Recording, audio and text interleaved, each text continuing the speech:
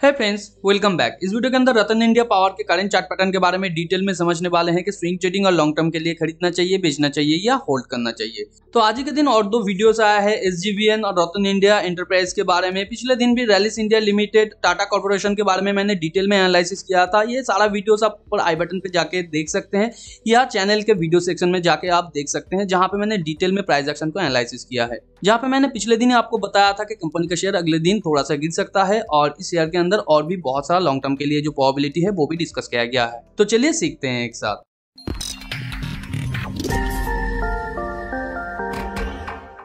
जैसे कि आप स्क्रीन पे देख पा रहे हैं, रतन इंडिया पावर का ये वनडे का चार्ट है। वनडे के चार्ट में इसने एक बेयर वेज से नीचे आने की कोशिश किया था और यहाँ पे जनरली एक वेज फॉर्मेशन के अंदर तीन स्पाइक होता है।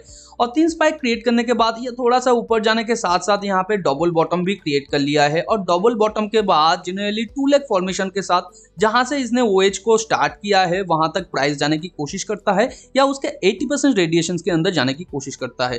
तो टू लेग फॉर्मेशन के साथ उसके 80 परसेंट रेडिएशन के अंदर जाने के बाद यहाँ पे साइड वे के थ्रू कंसोलिडेट किया है। कंसोलिडेट करने के बाद ये लगातार ऊपर जाने की कोशिश किया था और अच्छा खासा इसने दो पॉइंट से ब्रेकआउट किया था। जो कि था यहाँ पे अगर आप देखें, पिछले टाइम का जो हाई है या वेज का हाई पॉइंट है, वहाँ से भी और उससे पहले का भी जो हाई पॉइंट है, वहाँ से भी इसने ब्रेकआउट किया है।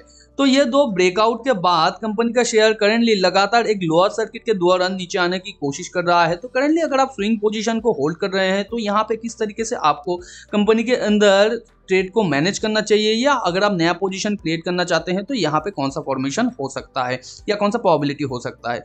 तो करेंटली आप देख सकते हैं, यहाँ पे लॉन्ग टर्म कंसोलिडेशन के बाद कंपनी के शेयर प्राइस ने अच्छा खासा ब्रेकआउट किया है। ब्रेकआउट के इमीडिएट बाद थोड़ा सा इसने पुल बैक किया है, मगर ये कोई सिग्निफिकेंट पुल बैक नहीं था और इसने लगातार एक चैनल के थ्रू ऊपर जाने की कोशिश किया है। तो यहाँ पे मैं चैनल की बोल रहा हूँ तो आप देखेंगे, जब इसने ब्रेकआउट किया है ब्रेकआउट के बाद का जो बार है, वहाँ पे एक छोटा सा टेल था नीचे की तरफ़ और ये जितना ऊपर गया है, नीचे की तरफ़ ये टेल जो है वो बढ़ता गया है।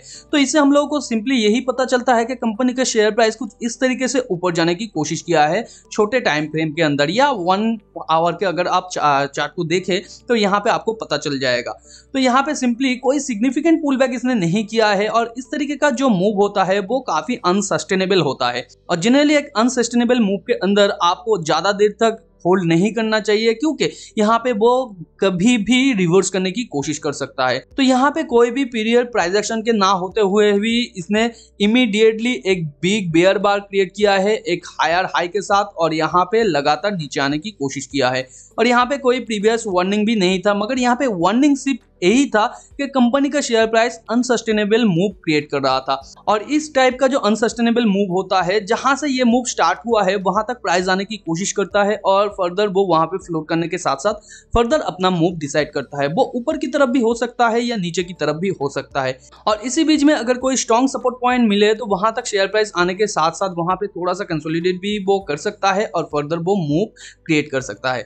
तो यहाँ पे 8.102 और नीचे का ये जो सेवन का लेवल है, यहाँ तक प्राइस पॉइंट नेक्स्ट आ सकता है और उसे अगर तोड़ के नीचे जाता है तो फर्दर इसका प्राइस 550 के आसपास भी आ सकता है। तो करेंटली अगर कंपनी का शेयर आप होल्ड कर रहे हैं तो यहाँ पे करेंट सिचुएशन में आपके लिए जो स्टॉप लॉस बन सकता है 6.70 के आसपास। जो कि अगर आप देखें तो यहाँ तक इसका स्टॉप लॉस बनता है। या ये जो कैंडल है, इसके इमीडिएट नीचे। और यहाँ पे फ़र्स्ट जो आपके लिए टेक प्रॉफिट बनता था 8.10 के आसपास, क्योंकि यहाँ पे आप देख सकते हैं कंपनी का शेयर प्राइस जो वेज टॉप के आसपास जब ये चला आया था, तब यहाँ पे आपके लिए एक अच्छा खासा टारगेट बनता था। उसे अगर तोड़ के ये ऊपर जाता है तो देन 8.80 के आसपास भी आपके लिए नेक्स्ट टारगेट होना चाहिए था। और उसे अगर तोड़ के ये फर्दर ऊपर जाता है तो 9.60 यानी ये जो टॉप है इसके आसपास का होना चाहिए था। तो इसने तीनों टारगेट को कंप्लीट कर लिया है। तीनों टारगेट कंप्लीट करने के बाद भी अगर आपने यहाँ पे प्रॉफिट बुक नहीं किया होगा तो यहाँ पे गलती आपकी ही है। करेंट सिचुएशन में मैं यही कहूँगा कंपनी के शेयर से अगर आप निकलना चाहते हैं तो आपको सिंपली निकल जाना चाहिए, क्योंकि यहाँ पर अगर कोई आपका प्रॉबिलिटी बनता है, वो है यहाँ पे एक लेग के थ्रू ये नीचे आने की कोशिश किया है, क्योंकि यहाँ पे कोई भी सिग्निफिकेंट पुल बैक इसका नहीं है। तो जहाँ पे भी ये रुकेगा, हो सकता है ये थोड़ा सा पुल बैक करने की कोशिश करे, मगर उसके बाद भी ये नीचे आने की कोशिश करेगा। करेगा अगर ये नीचे आने की कोशिश भी नहीं करता है तो यहाँ पे ये जो मूव है बेयर मूव है, ये आप देख सकते हैं कितना स्ट्रांग है। तो इसी वजह से यहाँ पे ये थोड़ा टाइम नीचे कंसोलिडेट करने की कोशिश करेगा और थोड़ा सा यहाँ पे बेयर मूव के थ्रू फिर ऊपर जाने की कोशिश कर सकता है, अगर कंपनी के शेयर के अंदर यहाँ पे स्ट्रांगनेस है। अगर यहाँ पे कोई भी स्ट्रांगनेस नहीं है फंडामेंटल के अंदर ओवरऑल मार्केट का जो कंडीशन है, वो खराब रहता है तो शेयर प्राइस और भी नीचे आ सकता है। जहाँ पे आपका पॉबिलिटी यही बनता है कि लॉन्ग टर्म के लिए आपको इसके अंदर कोई भी अच्छा खासा स्विंग पोजीशन नहीं मिलेगा। तो यहाँ पे करंट सिचुएशन में कोई तो स्विंग पोजीशन के लिए बाइंग पॉइंट नहीं है, मगर यहाँ पे अगर आप शेयर को होल्ड कर रहे हैं तो सिंपली आपको निकल जाना चाहिए। मगर ये फुल्ली आपके ऊपर बेस्ड है, आपके एनालिसिस के ऊपर बेस्ड है कि आप क्या सोचते हैं कंपनी के टेक्निकल एनालिसिस के बारे में। और यहाँ पे अगर लॉन्ग टर्म के लिए आप कंपनी के अंदर इन्वेस्ट करना चाहते हैं तो लॉन्ग टर्म चार्ट के अंदर अगर आप देखें तो मल्टीपल टाइम इसने ब्रेकआउट किया है तो ब्रेकआउट को यहाँ पे सस्टेन करवाने के लिए इसे थोड़ा सा टू लेक फॉर्मेशन के साथ नीचे आना होगा, फिर जिस बेयर चैनल से ये नीचे आया है, उसे ब्रेकआउट करके अच्छा खासा स्ट्रांगनेस के साथ ऊपर जाना होगा। फिर थोड़ा सा पुल बैक के साथ वो नीचे आके अगर फिर ऊपर जाने की कोशिश करता है तो यहाँ पे आपके लिए नया लॉन्ग टर्म के लिए बाय होगा, क्योंकि यहाँ पे स्टार्टिंग से अगर आपको थोड़ा सा प्रॉफिट चाहिए तो इस तरीके के फॉर्मेशन के लिए आपको वेट करना होगा। और अगर आप सिंपली टेक्निकल को ना फॉलो करते हुए आप फंडामेंटल के ऊपर बेस करके कंपनी के शेयर के अंदर एंट्री और एग्जिट करते हैं तो आपको कंपनी के क्वार्टर ऑन क्वार्टर रिज़ल्ट को तो ज़रूर देखना चाहिए। कंपनी के फंडामेंटल एनालिसिस फिनेंशियल एनालिसिस के साथ साथ मैनेजमेंट एनालिसिस और फ्यूचर प्रोस्पेक्ट के बारे में एनालिसिस तो आपको करना ही चाहिए।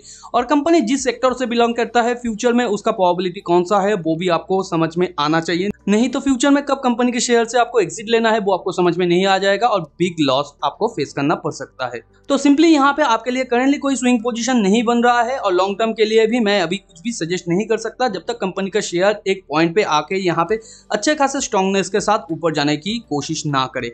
और फंडामेंटल के बारे में आपको थोड़ा सा रिसर्च करना चाहिए। अगर आप कंपनी का फिनेंशियल एनालिसिस कैसे करते हैं, नहीं जानते हैं फिनेंशियल टर्म्स आपको समझ में नहीं आता है तो डिस्क्रिप्शन पे लिंक दिया हुआ है प्लेलिस्ट का। आप जाके स्टेप बाय स्टेप सीख सकते हैं, जहाँ पे डिटेल में आपको समझाया गया है। टेलीग्राम चैनल को भी ज्वाइन कर लीजिए, क्योंकि सडन अगर कोई अपॉर्चुनिटी इमर्ज होता है स्विंग ट्रेडिंग और लॉन्ग टर्म इन्वेस्टमेंट के अंदर तो वही पे पहले अपडेट दिया जाता है, क्योंकि वीडियो बनाना बहुत ज़्यादा टाइम कंज्यूमिंग हो जाता है। टेलीग्राम चैनल का लिंक नीचे डिस्क्रिप्शन पे दिया हुआ है, आप जाकर ज्वाइन करके रख सकते हैं। मिलते हैं अगले वीडियो पर, तब तक के लिए अपना बहुत ज़्यादा ध्यान रखिए। Thanks for watching and happy investing